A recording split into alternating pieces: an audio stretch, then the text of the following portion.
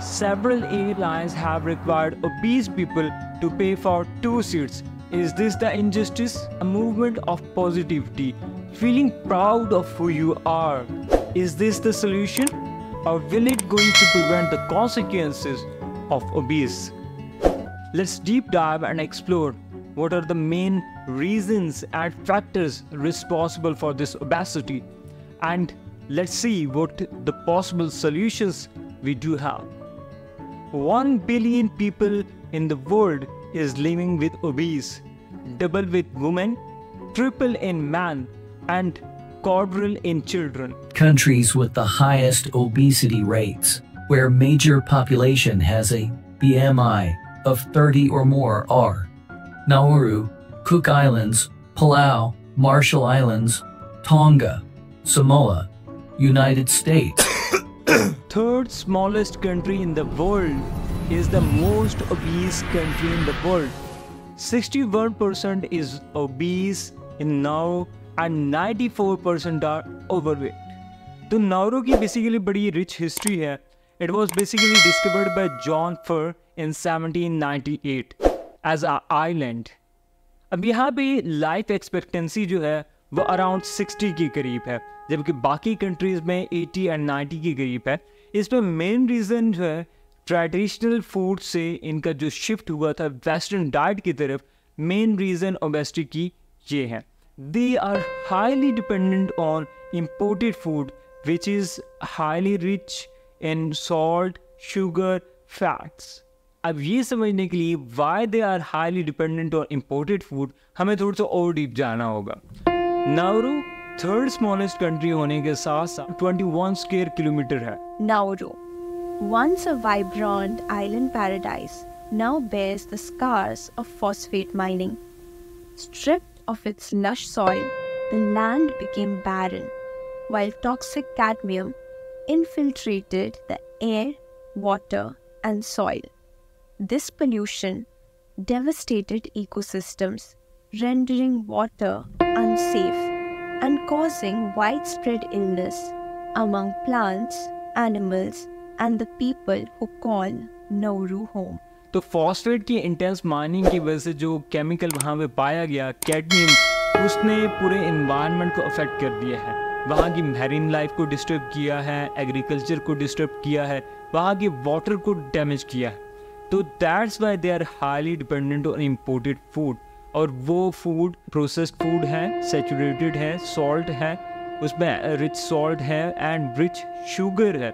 So that's why they are becoming obese and क्योंकि पूरा area बहुत शॉर्ट है जस्ट 21 स्क्वायर किलोमीटर उनका जो मॉडर्न लाइफ स्टाइल है जो उन्होंने अडॉप्ट किया है even though they have very small area उनको वहाँ पे वॉक करनी चाहिए थी, लेकिन वो वहाँ पे व्हीकल्स को यूज़ करना प्रेफर करते हैं इवन दो स्पोर्ट्स कार लोगों ने रखी हुई है। और डिफॉरेस्टेशन की वजह से बायोडाइवर्सिटी भी बहुत ज़्यादा अफेक्ट हुई है America is tenth most obese country in the world even though Donald Trump is officially obese. In America, average woman is around 170 pound, 5 feet 2 inch. Average man is 200 pound to 5 feet 7 inch, and one in every three persons is affected by obese. Socio-economic factors in America and limited access to healthy food options also contribute to the problem, especially in lower income communities. Now let's see what are the main factors that are responsible for causing obese in America. वहाँ का जो working environment है that is समाउ competitive वहाँ पे sitting during their working hours is more they do not put time for their healthy activities stress working environment का ज़्यादा है and poor diet so because of that they are unable to cope with the weight loss लेकिन अगर कुछ लोग rapid weight loss कर भी लेते हैं तो उसके भी consequences हैं like stretchy skins एंड अक्सर लोगों ने डॉक्टर के ज़रिए से ये सेंटेंस तो सुना होगा all operations have their problems and consequences, but that was explained to him prior to surgery. Yes, gastrectomy surgery is oftenly and more commonly practiced in the US.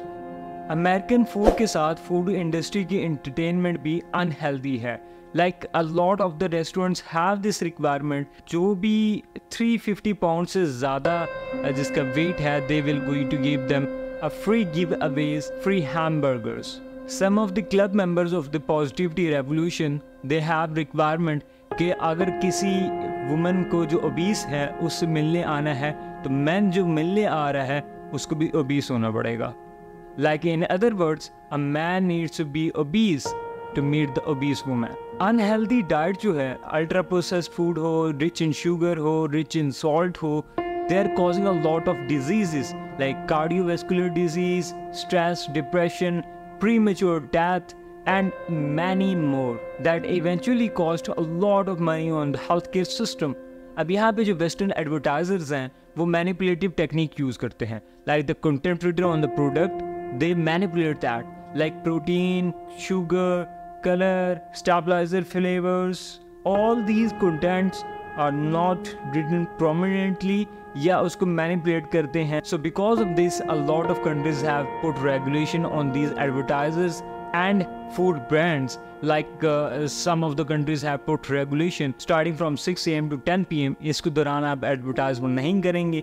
And some countries also have band child targeted imagery in marketing of the product like जिसके ज़रिए से आप बच्चे को attract कर सकते हो लेकिन गवर्नमेंट यहाँ पे स्ट्रेटजीज एंड प्लान्स नहीं बनाते क्योंकि वो खुद स्टेक होल्डर्स होते हैं एंड वो ओनर्स लोगों पे डाल देते हैं that you are consuming this product either that is a tobacco or fast food. As like in England, 64.2% people are overweight, even though Boris Johnson is also overweight. And in England, genes are considered primary drivers of obesity. China में भी इससे youth और बच्चे काफ़ी ज़्यादा affect हुए हैं जिसकी वजह से चाइना गवर्नमेंट ने भी इसके खिलाफ वॉर डिक्लेयर कर दी है। People feel stigma of fatty ugly unlovable या एम्बेरस फील करते हैं शेम फील करते हैं। Now you don't have to feel embarrassed don't have to feel shame be proud of yourself लेकिन आपने इम्प्रूव भी करना है। साथ ही साथ government have to make a lot of strategies and policies to regulate these companies and to ban these companies who are influencing lot on fast food which is unhygienic वो लोग जो अपने आप को इम्प्रूव करना चाह रहे हैं due to the lack of resources show some empathy because this is not individual or personal responsibility. Likely, last but not least, is obesity the result of personal choices? Or are we all trapped in a system designed to keep us unhealthy?